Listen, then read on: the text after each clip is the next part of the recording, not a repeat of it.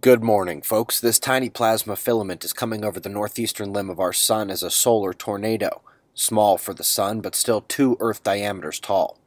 We've got a disaster in China, news about a previously unknown earthquake cycle, a global climate update, and a geomagnetic storm from Space Weather Impact. We'll start there. This is spaceweathernews.com, and we're looking at the last day on our star. Some minor flashing in the large active region as it turns, but not much else. However, the real space weather story is back here at Earth. We've expected a coronal hole stream, then CME impact, and then another coronal stream, but it looks like the CME hit first. Looking at the solar wind telemetry, speed and density rising together is not a coronal hole signature, but CME.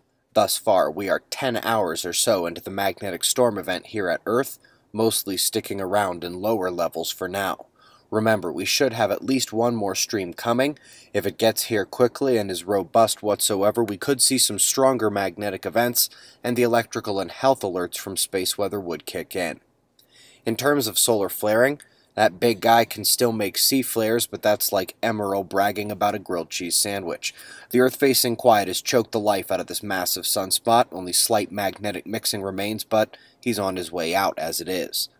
Seismicity has remained low, but the locations continue to be interesting. Another above average in the U.S., with coastlines to the south getting active now as well. Quiet season around this region thus far.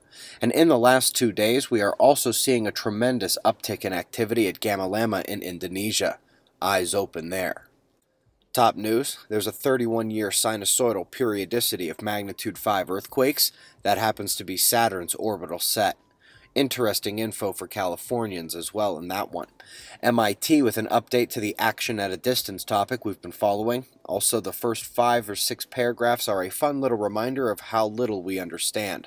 Schrodinger's litter box could use a scoop or two.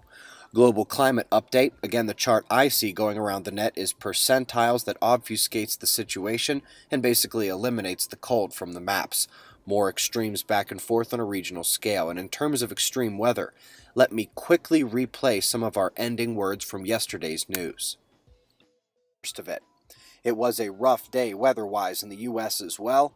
A bit more of that expected tonight, along with some areas in northeastern Europe, northeastern China, and eastern Australia. It was only the smallest of mentions, but for those in the affected region of China, it was a big, big deal. Yesterday's rainfall triggered a landslide that swallowed part of the town, and then the higher level flooding began.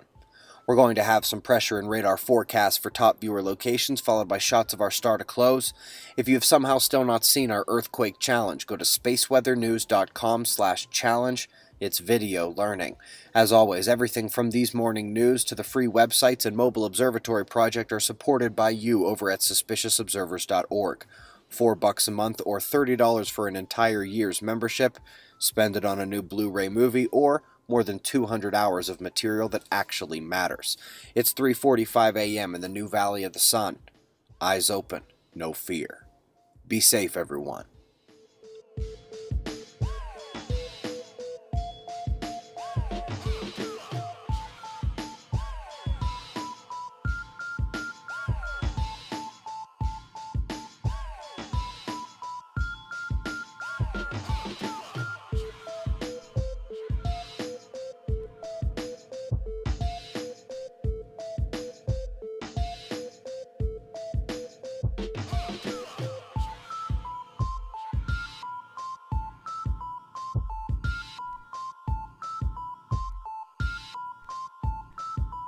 Oh.